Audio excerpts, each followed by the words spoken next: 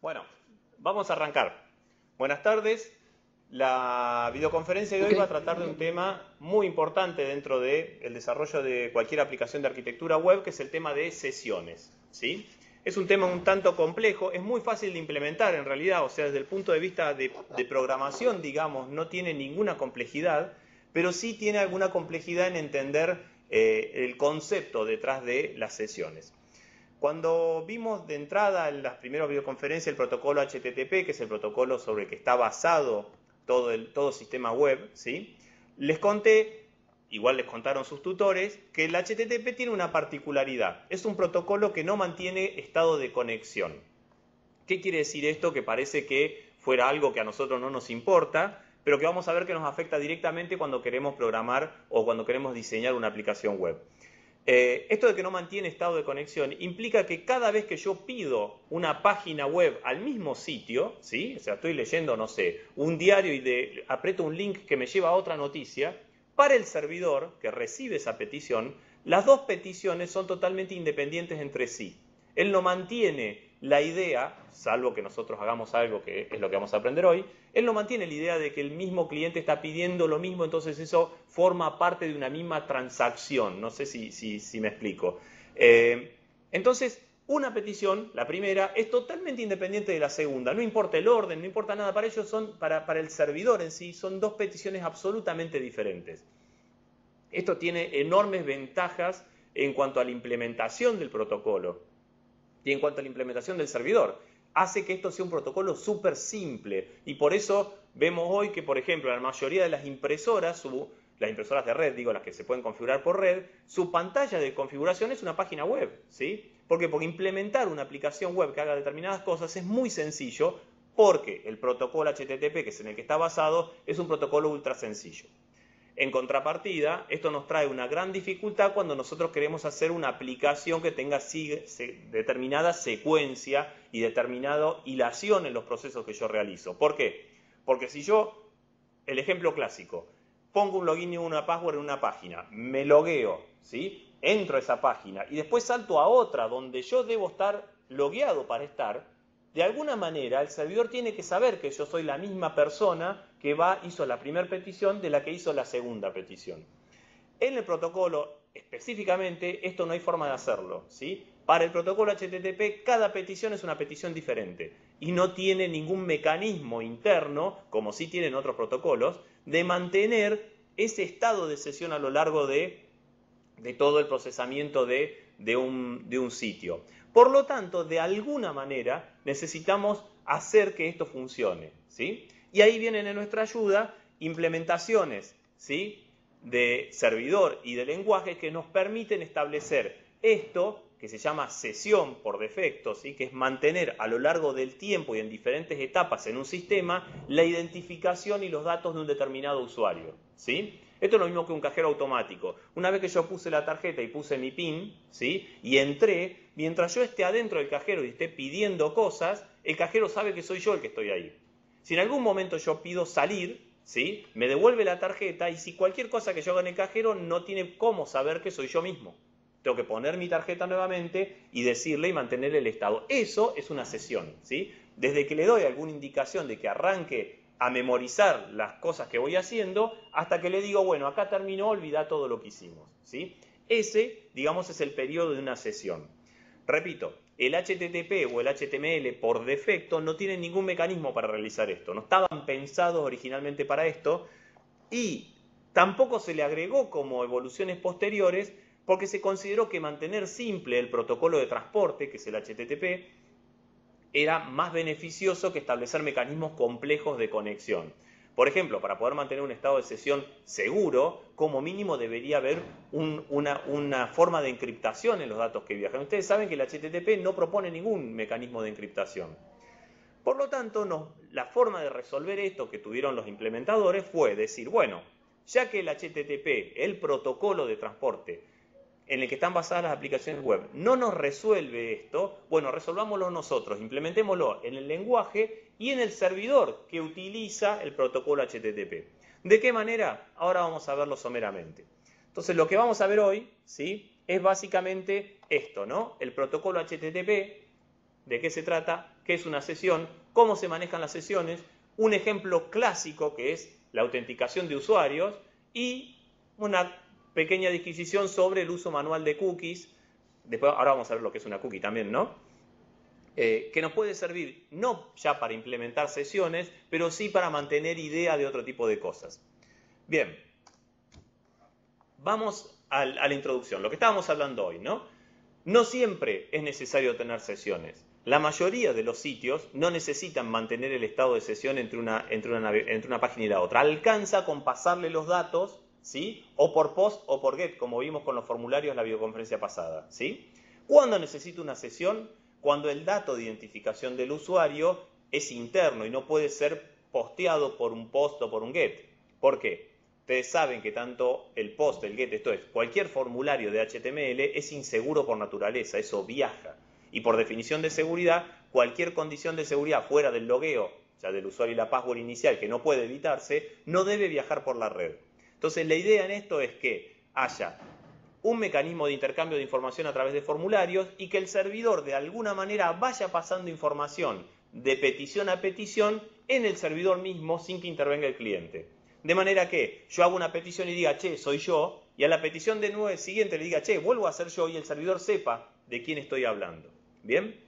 Eso implica que yo tengo que mantener un estado de conexión entre las distintas páginas. Por ejemplo, para hacer un carrito de compras, para hacer un control de acceso, para hacer aplicaciones que mantengan alguna idea de quién la está trabajando. ¿sí? O sea, esto no es estrictamente solo para sitios que tienen una zona segura y una zona no segura. Hay varias aplicaciones. ¿sí?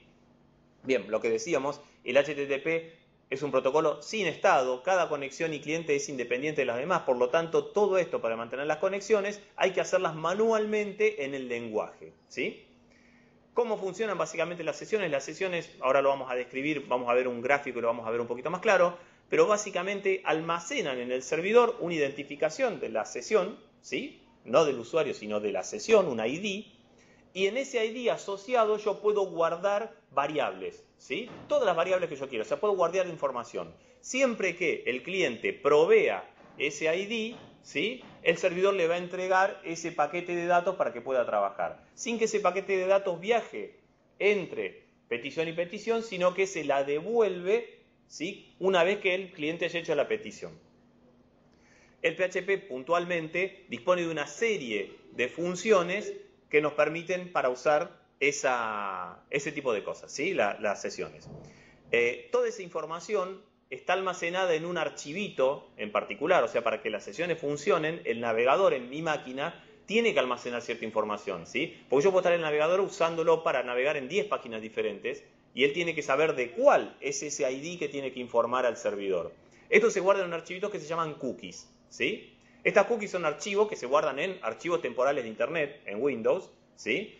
Que son aquellos que borramos cuando le decimos borrar todos los archivos temporales al navegador, vieron que a veces se nos llena y dice, bueno, borrarle los temporales, le borro los temporales, bueno, lo que estoy borrando son las cookies que ha ido acumulando de sesiones que yo he tenido con servidores. Por lo tanto, si quieren en cualquier momento pueden hacer la prueba, nosotros vamos a ver un ejemplo, pero en cualquier momento lo estén usando. Supongan que ustedes se loguean en Hotmail, ¿sí? Me dijo acá el amigo que tenía cuenta en Hotmail porque le acaba de mandar un mail ahí. Eh, ustedes tienen, tienen iniciada la cuenta en Hotmail miran sus correos. Sin cerrar la sesión, van al navegador y dicen, borrame los archivos temporales. Van a ver que inmediatamente Hotmail le dice, dame el login y la password. ¿Sí? Porque me saca de la sesión, elimina la sesión. Mi cliente ya no sabe cuál era el ID que le tiene que informar. Por lo tanto, Hotmail dice, vos para mí no existís. Y tengo que arrancar de nuevo. ¿Sí? Bien. Entonces, toda esa información se almacena en unos archivos que se llaman cookies. Normalmente en el uso del 99% del tiempo nosotros no nos preocupamos por las cookies, PHP lo hace solo. O sea, PHP se dedica y se encarga de crearlas, almacenarlas y darlas de baja cuando yo las doy de baja. ¿sí? En algunos casos particulares, por ahí las quiero crear yo a mano. Un ejemplo clarito.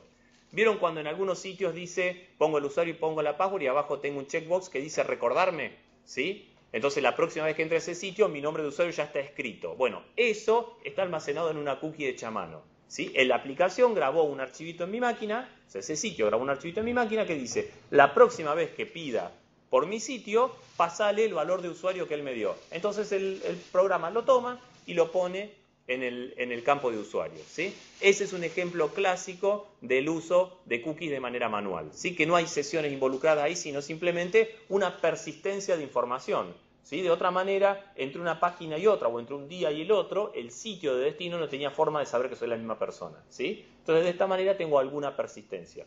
Por supuesto que yo no puedo poner datos críticos en esa cookie porque la puede leer cualquiera. Viene mi hijo, abre la notebook, se fija y ve la cookie. Es un archivo totalmente sin ningún tipo de seguridad, no tiene encriptación, no tiene nada. Por lo tanto, cuando yo necesito usar sesiones, dejo que el servidor almacene esa información y yo lo único que hago es usarla. Bien. Cuando yo hago, esto lo hablamos también eh, cuando arrancamos con todo esto de de HTML y HTTP, cada vez que hay una petición contra el servidor, además de la URL, o sea, yo escribo www.google.com, ¿sí? además de esa petición, junto con la petición va lo que se llama una cabecera. En esa cabecera se informan un par de cosas. Por ejemplo, qué navegador tengo. Por eso yo en un sitio puedo saber con qué navegador me atiende el cliente. ¿sí? El navegador, qué sistema operativo tengo, ¿sí? una serie de datos, qué versión de HTTP soporta, una serie de datos que le pueden ser eh, útiles al sitio. En el caso que yo esté trabajando con sesiones, otra información que viaja es el ID de sesión que me informó el servidor originalmente. Entonces, cada vez que se intercambia información con un sitio determinado y hay una sesión establecida, mi navegador, sin que yo intervenga, informa siempre el ID de sesión. Entonces, el mecanismo de pertenecer a una sesión una vez que yo la creé y hasta que yo la destruya es automático, no tengo que preocuparme por ello. Bien, como dijimos, cuando yo establezco una sesión, que ahora vamos a ver cómo lo hacemos, etcétera, el servidor me da un ID que es único, un número. En realidad es una, ahora vamos a ver un ejemplo, es una clave así. Cada servidor usa claves diferentes, pero normalmente son 32 o 48 caracteres, todos mezclados y que nunca debería repetirse. ¿sí? Ni siquiera no conmigo, sino en el tiempo no debería repetirse. Las sesiones, por defecto, en los servidores vienen configurados así, tienen una duración estándar de 30 minutos. Por eso si yo dejo Hotmail 30 minutos, me vuelvo, cuando quiero hacer algo me vuelve a pedir el login y la password. ¿sí? Vence la cookie, entre otras cosas tiene una fecha de vencimiento. Vence a los 30 minutos. Si yo hice cualquier petición, son 30 minutos más. ¿Está bien? Porque esa cookie automáticamente se renueva y le da 30 minutos más. Si no lo toco, a los 30 minutos, plac, caduca, se borra la cookie y por, ende tengo que establecer todo de nuevo. ¿sí?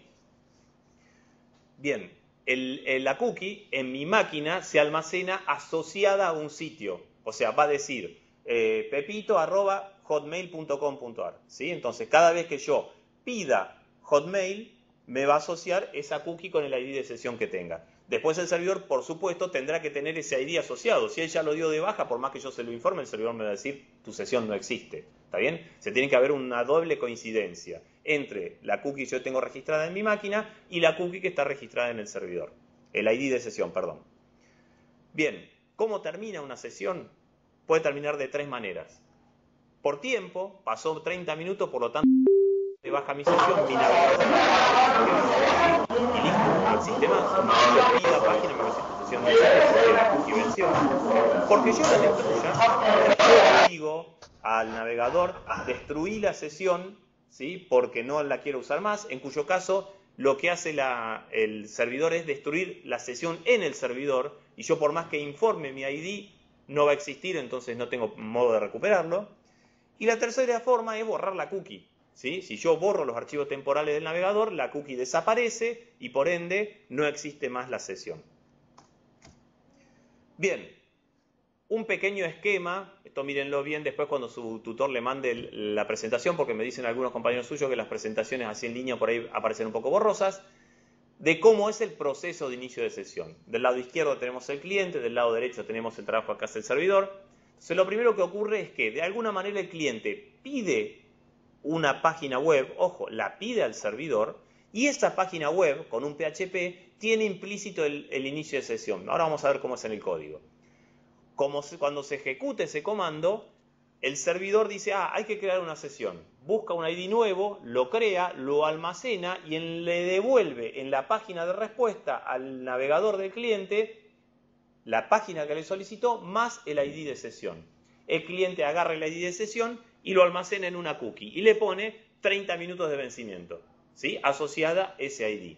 A partir de ahí, cada vez que ese navegador pida a esa URL, cualquier página, a esa URL digo a ese sitio, ¿no? Por ejemplo, a unlam.edu.ar o a minplan.gov.ar, le va a asociar la cookie esa. Digamos, la, la llamada va a tener pegada la cookie con el ID de sesión. Por ende, cuando el servidor reciba esa nueva petición con el ID de sesión, va a mirar su disco, va a decir, a ver, mi base de datos, sí, esta es una sesión válida. Va a fijarse si hay datos asociados, si hay datos asociados, se los va a poner a disposición de esa petición. Si no es una, idea, una sesión válida, le decir esa sesión no existe. Listo. ¿Está? Este proceso puede repetirse eh, eternamente, siempre que la sesión no venza o que yo no la dé de baja o que pierda la cookie en mi máquina. Esos son los tres eventos por los cuales la sesión va a destruirse. Mientras tanto, la sesión vive. ¿sí? Cuando necesito terminar la sesión, ya vimos los tres métodos, pero el método normal que es el típico logout, ¿sí? Aprieto un enlace que me dice me, salgo de la sesión. Bien, eso simplemente le dice al servidor, che, borrame el ID de esta sesión, no tiene que existir más. Se borra el ID, se borran todos los datos asociados y en cualquier momento que yo la vuelva a pedir, el servidor me va a decir, vos no existís, ¿sí? Bien, ¿cómo se manejan las sesiones en PHP? Vamos al coso. Van a ver que todo esto que por eso no un poco complejo porque hay que acostumbrarse a, manejar con este criterio, desde el PHP es súper sencillo. ¿sí? Hay dos comandos. Todo lo que usamos. Dos comandos y una variable. ¿sí? O sea, más simple incluso que los formularios. ¿sí? El primer comando, que es importantísimo, es el session start, que es el que mostramos ahí. ¿sí? Con el session start siempre hay una confusión. Como se llama start, y start es iniciar en inglés, mucha gente cuando está programando, sobre todo cuando está empezando, asocia el session start al inicio de la sesión. Y no es así. El session start tiene que incluirse en todas las páginas, en todas las páginas, en todos los documentos PHP, como primer comando, ahora vamos a ver por qué, como primer comando, para que esté disponible la sesión. Esto es, si es la primera vez que yo invoco un session start, la sesión se crea. Ahora, si es la segunda vez que lo invoco, el servidor dice, ah, vas a usar sesiones, a ver qué ID me diste, tal, toma tus datos. Si yo no uso el Session Start, por más que haya creado la sesión, no voy a tener acceso a los datos de la sesión. ¿sí? Es una manera que tiene PHP de decirle al servidor que voy a usar sesiones. ¿sí? O sea que no asuman el start como inicio de sesión porque no es así. Simplemente la inicia si no existe y si existe la usa. Es así. ¿Está? Entonces, en toda página, en cada documento PHP de mi sitio en el cual yo necesito que la sesión esté activa, el primer comando que tiene que haber, incluso antes de cualquier comando HTML, es el comando session start. ¿Por qué le hago tan hincapié que tiene que ser el primero? Porque el session start, como dijimos recién, y los ID de sesión viajan en las cabeceras del documento. Entonces, si yo agregué el código HTML, ¿sí? el primero, tab HTML eh, mayor, ya está, ya la cabecera ya fue, porque eso es el cuerpo del documento. Por lo tanto, si pongo session start abajo del HTML, ¿sí? ¿Qué me va a decir? No, sus cabeceras ya fueron procesadas, no puede mandar dos, cabeceras por petición. Entonces, el session start, solo ese comando, tiene que estar antes que cualquier cosa, ¿sí? Y lo tengo que usar en todos los documentos donde quiero que haya sesiones, las vaya a usar o no, ¿está? Si no lo pongo, no voy a tener acceso a la sesión. Es tan simple como eso. Bien. El otro comando es el session destroy. Simplemente, ¿qué hace el session destroy? Revienta la sesión en el servidor, no borra la cookie, revienta la, sesión en el servidor. Si le informo el ID, me dice no existe. Simplemente eso. Bien, entonces dijimos, sesión start, inicializa la sesión, le asigno identificador único, si la sesión ya está iniciada, carga todas las variables de sesión. Está claro, hace los dos trabajos. Si no existe, la crea, si existe, la usa.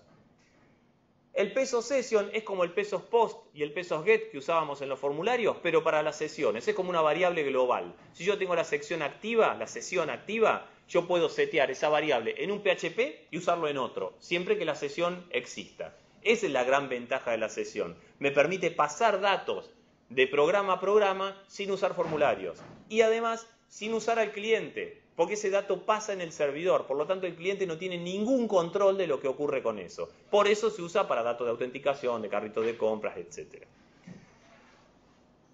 Bien, el comando que sigue, que dice un set, en realidad no es un comando de sesiones, es un comando de PHP que vacía una variable. El unset lo que hace es limpiar una variable. En el caso de sesiones, lo que hace es limpiarme una variable de sesión. Y lo que está abajo, ya lo vamos a ver ahora en un ejemplo puntual, es cómo hago yo para verificar si una variable de sesión está registrada, si existe. Ya lo hemos visto al isset, lo vimos en el, cuando vimos formularios, que es un comando que lo que me da es, me dice verdadero o falso en función de la variable que yo pongo adentro, si existe o no existe. Simplemente eso. Ahora vamos a ver en ejemplos prácticos cómo uso cada uno de, de, estas, de estos elementos. Vamos a hacer el caso más simple. Si ni siquiera vamos a usar autenticación, nada. Yo lo único que quiero es este documento HTML, es HTML, está bien si tiene extensión PHP, pero es HTML puro, ven que no tiene ningún PHP. Y lo único que tiene, fíjense que no hay un formulario. Lo que hay es un link a iniciar sesión PHP que ahí abajo a la derecha nos muestra, ¿sí? Aquí, ¿está bien? que lo único que tiene es un link que lo aprieto y ¿qué hace? Va a ese sitio, ¿bien? ¿Por qué lo hago de esta manera? Y no lo cargo directamente primero para que sea más gráfico para ustedes, ¿no? Pero por otra parte yo necesito que para que se inicie sesión el PHP se ejecute en el servidor, ¿sí? No puedo usar un HTML para iniciar una sesión. Necesito invocar en el servidor un PHP que tenga qué cosa? El comando session start, ¿sí? Bien, aquí lo tenemos, ¿ven? Iniciar sesión, ¿Sí? La, el primer, la primera línea, ¿está bien? Lo que hace es, básicamente, session start. Fíjense que el HTML sigue después de eso. Lo primero que hago es hacer el session start. En este caso la sesión no existía, por lo tanto, el HTTP, el servidor, lo que va a hacer es crearla, pero además ya me deja utilizar las variables globales peso session. Creo una en particular que se llama mensaje, ¿sí? Y le asigno la cadena hola, ¿sí? lo que estamos haciendo aquí. ¿sí? Y luego muestro el HTML. Fíjense que abajo, ¿sí? en esta línea, imprimo la variable de la sesión, el valor de la variable sesión, porque esa variable ya existe, una vez que la creé, existe, por lo tanto, fíjense que lo que hago es decirle valor de la variable pesos ese mensaje y hago un eco de lo que había adentro, ¿sí? Entonces, con eso comprobamos que la sesión existe porque si no el, pesos underscore session no estaría válida, porque es una variable específicamente asociada a una sesión. Si la sesión no existe, esa variable no tiene existencia por más que yo la setee. ¿Está? Bien. Ahora vamos a otro sitio, a otra, a otra PHP eh, que fíjense, esto lo cargo a mano, ni siquiera pongo un enlace. Esto lo escribí, hice localhost barra validos underscore session.php y le di enter. ¿Qué es lo primero que hago? Por supuesto, establezco la sesión, pero fíjense, la sesión ya existía, pero le estoy diciendo a valido sesión PHP que tiene que usar sesiones y que voy a usar sesiones en su contenido, por lo tanto tiene que leer la cookie. ¿Me siguen? Entonces de esta manera yo me aseguro que los datos que cargué en la página anterior, ¿sí? o sea, la variable mensaje, esté disponible. Si yo no hubiera puesto un session start, ese valor no estaría disponible. Luego escribo un HTML, fíjense una vez más que el session start está al principio de todo, y luego, en una porción de código PHP, ¿sí? Lo que hago es, primero, verificar por las dudas que la variable esté seteada, porque puede haber un error. Ustedes saben que siempre hay que controlar que no se produzcan errores de sintaxis, ¿sí? o de variables inexistentes, etcétera, porque pueden pinchar el sistema y gente malintencionada puede usarlo para romper nuestro sistema. Verifico que esté seteada la variable sesión. Si está seteada, lo que hago es mostrarlo. Y fíjense que tiene el hola, que es el mismo valor que le cargamos en la otra página, pese a que no lo pasamos ni por formulario ni por la URL. ¿Está? ¿Por qué? Porque la pasamos por una variable global, una variable de sesión. Ese valor nunca estuvo en el cliente. O sea, el navegador, el navegador web lo recibe cuando recibe el HTML crudo este. ¿Sí? Por lo tanto, no hay ninguna posibilidad que lo hackee, que lo cambie, que lo, que lo malverse o que haga cualquier cosa. ¿Por qué? Porque esa información está viajando entre esos dos PHP en el servidor y no en el cliente. Y eso es lo importante de la sesión. Bien, por supuesto que en el else, ¿sí? lo que hago es poner un ejemplo, un error, en el caso que la variable no esté seteada. ¿Esto qué, querría decir? Que no hubiera pasado por el PHP anterior. Y aquí tenemos un ejemplo. Llamo al mismo documento, pero a posteriori de haber limpiado las cookies. borro las cookies, yo mostré el procedimiento que ustedes lo saben, van a settings, ¿sí? clear browse data o borrar la información de navegación, borré las cookies, vuelvo, recargo este programa y ¿qué me dice? La variable sesión no está seteada, salió por acá. ¿Por qué? Porque por más que yo haya hecho el session start, ¿sí? El peso session mensaje se perdió, porque el session start este generó una sesión nueva, que no es la misma que la anterior. Por lo tanto, esa información quedó absolutamente inaccesible. Bien, esto es un ejemplo súper corto, ¿sí? De cómo manejar, ahora vamos a continuar, pero cómo manejar una sesión. Yo creo la sesión, uso variables dentro de la sesión, las leo, las escribo, las modifico, las almaceno. Cuando termino, bueno, la destruyo a la sesión. En el caso anterior, ni siquiera usé la función session destroy, sino que la destruí limpiando eh, los datos temporales del browser.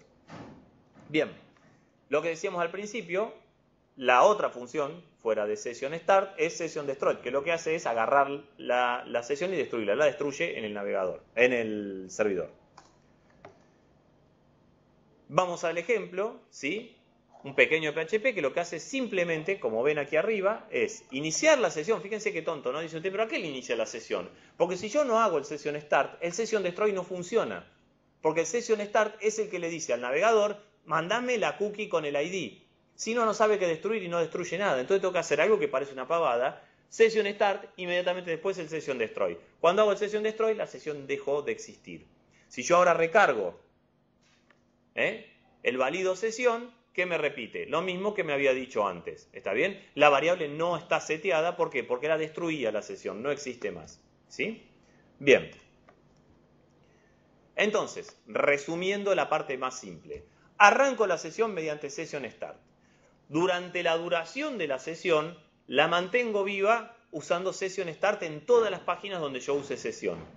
Puedo verificar la sesión mediante iset de sus variables, utilizo las variables peso session, destruyo las variables peso session mediante un set si no las quiero usar más, y cuando termino de utilizar la sesión, las destruyo mediante un session destroy. ¿sí? Ese es el procedimiento natural de uso de sesiones no, raramente van a tener algo que sea diferente a esto, que salga de esta lógica. Vamos a ver ahora un ejemplo un poquito más complejo, ¿sí? En realidad es exactamente lo mismo, pero le agregamos un par de pasos más para que ustedes vean el funcionamiento completo con la autenticación de usuarios, ¿sí?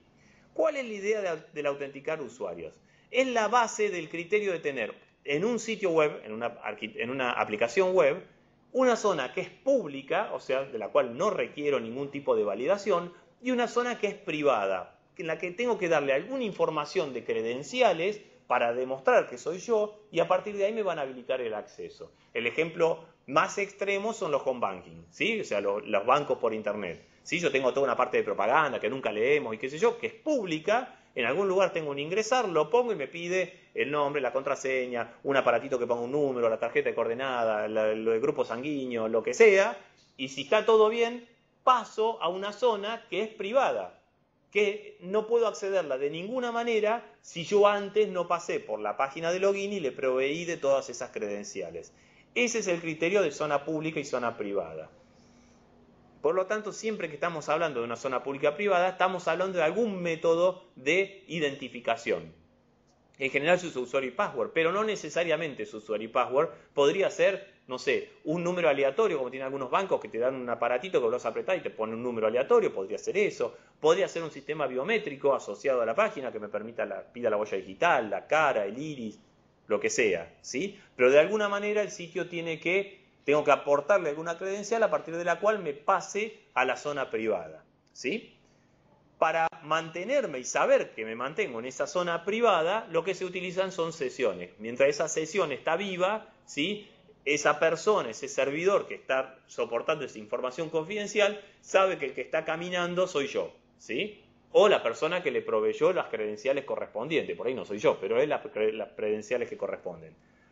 Una vez que esa persona me hace logout, la sesión se destruye y nadie puede acceder a esa sesión, salvo proveyendo las credenciales que corresponden nuevamente. Bien. Como dijimos, esto es un poco más complicado. ¿sí? Cuando yo tengo una zona pública y una zona privada, hay cosas, hay una barrera, digamos. ¿sí? Hay páginas que exigen, ¿sí? sí o sí, que haya una sesión establecida y que haya asegurarme que esto haya pasado por determinado proceso de validación. Entonces, en este gráfico, básicamente, yo en celeste puse donde no tengo sesión establecida. ¿Está bien? En el naranja intermedio, que es el que está ahí, es el que valida el usuario. ¿Por qué está en naranja? Porque si el usuario es correcto, en ese momento es donde establezco la sesión. Si es incorrecto, como muestra el loop hacia arriba, vuelve a la página que es pública, hasta que el tipo no me, no me provea de credenciales válidas. ¿sí? Una vez que el tipo me provee de credenciales válidas, establezco la sesión y paso a la zona privada. En la zona privada todo es concesión, todo eso naranja que vemos ahí. Eso está todo bajo sesión y bajo la misma sesión. ¿sí? Yo puedo recorrer todas las páginas a las que esté autorizado, etcétera, usando la información de sesión. Cuando termino, salgo y track me saca afuera, página sin autenticación necesaria. Me saca afuera y me dice, listo, vos ya no podés volver a entrar hasta que no establezca sesión nuevamente.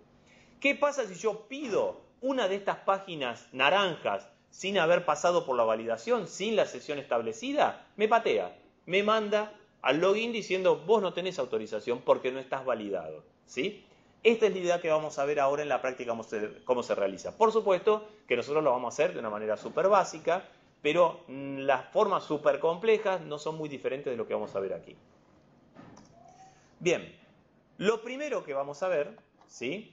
Es el formulario, que es un formulario que ya venimos utilizando. Fíjense que yo trato de reutilizar cosas que ya usamos, ¿sí? Como para que no se confundan. Entonces tenemos un formulario HTML común y corriente, cuyo action es verifico usuario, PHP, el método es post, que pide nombre, password, con dos botones, limpiar y enviar, ¿sí? El enviar con el nombre enviar que quedó medio tapado ahí por el, por el dibujito, ¿sí? Aquí dice que el name de ese botón es enviar, ¿sí? Y vemos el dibujo ahí como para ver cómo queda en el navegador. Por otra parte, ¿sí? Yo tengo un documento que se llama verifico usuario, ¿sí? El documento verifico usuario, digamos, esto es la forma simple en que lo hemos hecho, no quiere decir que siempre lo tengamos que hacer así. Lo que hace es tomar la información que viene del post, validarlo contra algún método de autenticación, que nosotros lo hicimos súper naif, ¿sí? Si esa validación es válida, establece la sesión y la pasa, en realidad, sí, establece la sesión y la pasa al sector interno, y si no es así, lo devuelve. Y listo. ¿Está? Bien. Fíjense que, para ejemplificar esto, le puse el ejemplo de qué ocurre si yo pongo el verifico usuario, ¿sí? Este mismo documento sin el post. ¿sí? Ya estoy haciendo una verificación previa, sin entrar en sesiones. Lo estoy escribiendo a mano, no lo vengo del formulario, lo estoy escribiendo a mano. Fíjense que automáticamente me patea y me vuelve al formulario. ¿Por qué? Porque el primer if, este que está aquí, ¿sí? verifica que haya sido presionado el botón enviar. Si esta petición no viene del botón enviar presionado, me saca por aquí abajo. ¿sí? De la misma manera que me saca si la password que me ingresan y vino por el formulario como corresponde no es igual a clave. Yo tengo que escribir clave en la password para que pase a la zona privada. ¿Sí? Bien, la sesión la establezco al principio. En este caso yo podría haberla establecido aquí también. ¿Sí? La establezco arriba por una cuestión de costumbre, porque acá yo no estoy escribiendo ningún HTML en el recorrido, por lo tanto lo podría haber escrito incluso al fondo de todo. Y luego lo que hago es decir, creo dos, si la password es igual a clave y viene del botón, si está todo correcto, creo dos sesiones de, dos, perdón, dos variables de sesión. Una que se llama login, donde simplemente escribo la palabra válido, y una con el nombre usuario, donde pongo el nombre que me informaron en el formulario. ¿Sí? Bien.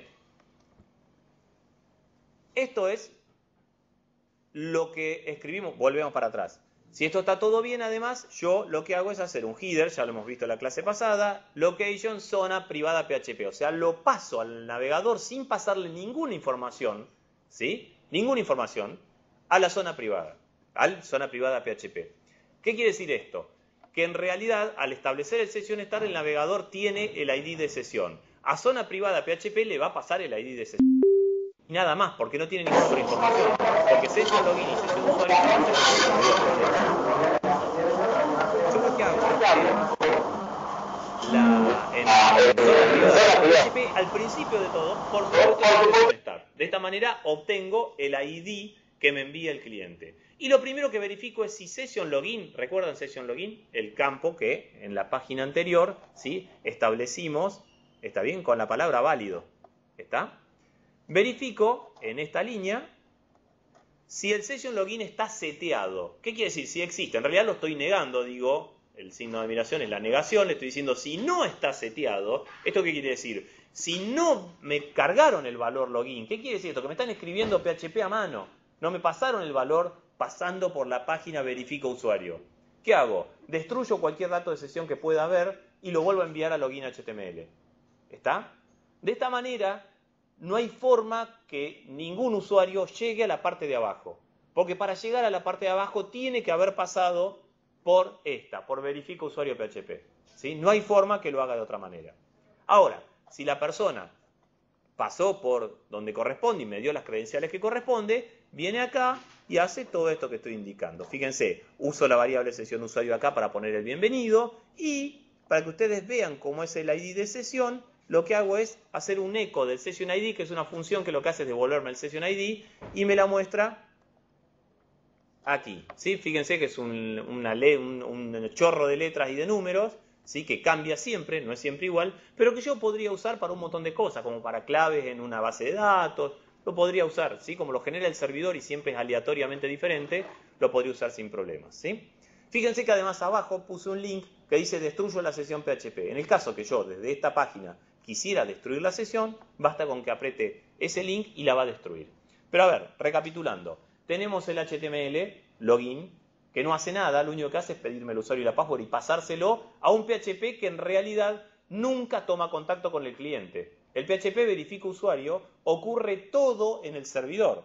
Volvemos a verlo. ¿Ven que no tiene HTML? Ocurre todo en el servidor.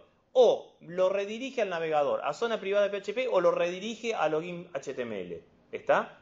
Entonces, todo lo que es el proceso de validación del usuario, que ahí lo super simplificamos, podría ser larguísimo, leer ocho bases de datos, hacer lo que ustedes quieran y el cliente nunca se enteraría. Él lo único que haría, enteraría es, si fue correcto, iría a la zona privada, si es incorrecto, iría a login HTML. Bien, seguimos. Aquí tenemos el ejemplo de qué ocurre si yo en el navegador directamente escribo zona privada PHP sin una sesión activa, ¿sí? O sin la variable de sesión que corresponde, la variable login. Directamente me saca login al login HTML, me saca directamente al, formulario de logueo. No me permite ver el contenido, no sigue. ¿Por qué? Porque yo lo pateé porque no corresponde, no cumple con las condiciones de esta sesión. Bien, vamos al Session Destroy, que esto era un ejemplo que en el otro no habíamos visto. Sí, habíamos destruido la sesión mediante el borrado de las cookies del navegador. Bien, aquí tenemos simplemente destruyendo una sesión, ¿está bien? Con el session destroy. ¿sí? Hago el session start, hago el session destroy y lo redirijo al login. Yo lo podría dejar tirado en ese PHP, pero bueno, no tiene sentido. ¿Está bien? Entonces, cuando el usuario aprieta el destruyo sesión, una vez más, este PHP chiquitito que ejecuta no lo ve nunca, nunca se ejecuta en el cliente. El cliente lo único que se entera es que tiene que cargar login HTML. ¿sí? Y que la sesión, por supuesto, no existe más. Bien. Esto es en cuanto a un ejemplo de el primero fue un ejemplo de uso de sesiones simple, el segundo es un ejemplo con autenticación. Ahí ya tenemos una zona pública, una zona privada, usamos las sesiones para identificar cuáles de las dos y un, un mecanismo específicamente para quemar la sesión y decir, bueno, ya no existe más. Eso es básicamente el uso de sesiones. Como ven, fuera del, discurso previo, digamos, que les di de, por qué son importantes y, la historia del HTTP, fíjense que se trata simplemente de usar el session estar donde corresponde y después usar la variable peso session. Y por supuesto cuando termine el session destroy. No más que eso, recordar el gráfico que vimos al inicio, lo voy a poner de nuevo, para que no nos confundamos, ¿sí? este o el otro es lo mismo, ¿sí? en donde siempre tengo una parte que no es sesión y una vez que la establezco es como que tengo ciertas páginas, en todas aquellas en las que use sesión estar, que están agrupadas en un conjunto, tienen acceso a esa información de sesión. Cualquier otra que no esté asociada a esa sesión no puede acceder a esa información. Así de simple. Luego, ¿cómo hago un carrito de compras? ¿Cómo hago eh, un sistema de autenticación más complejo? En realidad es inventiva porque siempre es usando estos dos comandos ¿sí? y las variables de sesión, no más que eso. Los carritos de compra, no está en un ejemplo, pero se los cuento rápidamente, lo que hacen es iniciar una sesión apenas yo entro al sitio. Vieron que los carritos de compra no me piden usuario y password. Me dicen, bueno, empecé a agregar cosas y te voy poniendo en tu carrito. Entonces, cuando yo ingreso por primera vez al sitio, inician la sesión, listo. La use o no la use, inician la sesión. Luego, cada vez que yo digo comprar, en un peso session van almacenando ¿sí? los, los elementos. Una vez que yo hago el checkout, agarran, digamos, digo, bueno, voy a pagar, sí, me gusta, los compro, voy a pagar, agarran esa variable de sesión, me la muestran en pantalla y hacen la transacción. Si no, fíjense, entren en Garbarino, por decir algo, en Frávega, en Compumundo, en el que a ustedes más les guste, empiecen a cargar el carrito de compras, cierren el navegador a lo bestia, ¿sí? abran el navegador de nuevo, entran de nuevo al mismo sitio y van a ver que su carrito de compra está cargado. ¿sí? Porque todo eso está almacenado en una cookie en su máquina. Mientras no pase la media hora está establecida o el tiempo que haya determinado la empresa que creó el sitio, porque yo esa media hora es por defecto, yo la puedo estirar a años, no hay ningún problema, ¿sí? Mientras no expire esa sesión, esa cookie eh, eh, de ese sitio, ese carrito de compra va a continuar cargado, ¿sí? ¿Por qué? Porque esas variables van a estar disponibles hasta que yo no destruya la sesión o no pase el tiempo que dijo, qué sé yo, Garbarino, repito, o el que sea, ¿está bien? Que esa sesión viva. ¿Bien? Entonces, las sesiones se pueden usar para un montón de cosas, pero se deben usar, digamos, siempre que yo necesito almacenar una información, un dato que sea persistente, esto es que dure, a lo largo de mi aplicación web. ¿Sí? ¿Por qué? Porque también lo puedo pasar por formularios, pero en cada página debería estar pasando toda la información con formularios, sería inmanejable. Y además, el cliente los tendría en sus manos los datos. Acá la idea es de datos que el cliente no tenga en sus manos y no pueda tergiversar, manipular, alterar. Bien, durante todo este tiempo hemos estado hablando de las cookies. ¿sí? Dijimos que son esas galletitas, esos archivos que quedan en el navegador, en archivos temporales de Internet, donde se almacena la información de la sesión, del ID de la sesión, de la duración y del sitio al que está asociada. Dijimos que podemos, al margen de que en la sesión, ustedes fíjense que yo en ningún momento, con todas las sesiones que mostramos, creé las cookies a mano. No es necesario, las cookies se crean solas, se borran solas para el uso de sesiones estándar. Ahora, vuelvo a repetir, como dije al principio, hay casos en que yo puedo querer usar una cookie a mano, ¿sí? Como el caso de que quiero que recuerde algo, o el caso de Google. Yo cada vez que abro el Google, ¿sí? Guarda una cookie que tiene una expiración creo que de 25 años en mi máquina. Y en esa cookie va almacenando la información de navegación. Cada vez que yo escribo una búsqueda en Google, además de la petición de la búsqueda a Google, va mi cookie. ¿sí? Entonces dice, Alejandro buscó zapatillas. Mañana, cuando busque, cuando busque este, medias, ¿qué me va a aparecer de propaganda al costado? Propaganda de zapatillas. Es así de simple que funciona Google y con eso se hicieron millonarios. Si me hubiera ocurrido a mí antes, sería millonario yo. ¿Sí? Pero es así de simple. Trabaja con cookies. No establece sesiones. Simplemente guarda un ID en mi máquina. ¿Sí? Entonces, el Google, y todas las herramientas de Google, recuerdan, saben quién soy yo, porque yo mismo se lo estoy informando. ¿Está? Lo que en cierto sentido está bárbaro, porque normalmente en la propaganda encuentro lo que estaba buscando, porque es suficientemente inteligente para saber ¿sí? qué es lo que estoy buscando, cuáles son mis últimas búsquedas, etcétera, porque va almacenando un perfil de navegación mío. Es así como funciona, mediante cookies.